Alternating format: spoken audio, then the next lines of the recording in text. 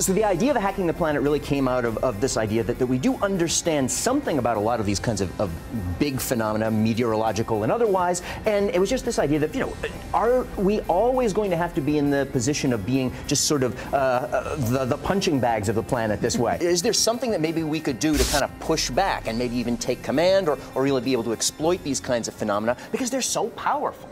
This is the Hurricane Machine at the University of Florida, and it can generate as much wind force as any natural storm. Things that come to mind for me when I think about like the really bizarre hacks, trying to stop a hurricane by flying a fleet of supersonic aircraft the wrong way And around wasn't there another through one it. where they like wanted to spray it with foam?